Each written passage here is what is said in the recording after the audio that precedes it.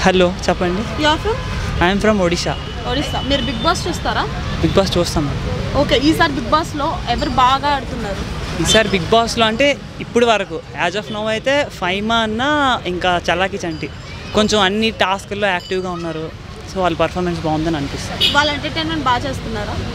వాళ్ళు చాలా బాగా ఎంటర్టైన్మెంట్ ఎంటర్టైన్మెంట్ చేస్తున్నారు. ఆల్రెడీ వాళ్ళు జబర్దస్త్లో ఉన్న దానికన్నా ఇందులో రియాలిటీ షో కాబట్టి వాళ్ళు రియల్గానే కూడా చాలా ఎంటర్టైన్ చేస్తారు ఓకే ఇప్పుడు వీళ్ళిద్దరూ ఫైనల్ వరకు వెళ్తారనుకుంటున్నారా?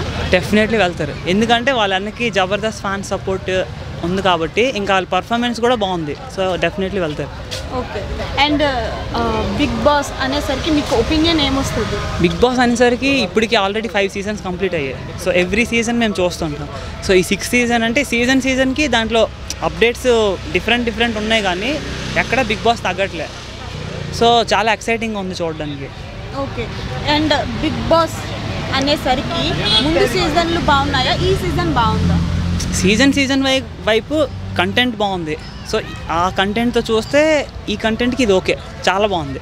ఓకే బట్ చాలా మంది ఈ సీజన్ డల్ అయింది అంటున్నారు బట్ అది ఆల్ ఒపీనియన్. బట్ నా పరంగా అయితే మాత్రం నాకు నచ్చింది. చాలా బాగుంది. ఓకే.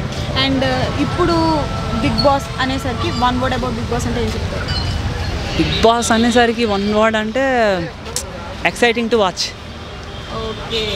And ఇంకా బిగ్ బాస్ గురించి ఇంకేమైనా చెప్పగలరా? బిగ్ బాస్ ఏంటంటే డిఫరెంట్ డిఫరెంట్ టాస్క్స్ ఉన్నాయి.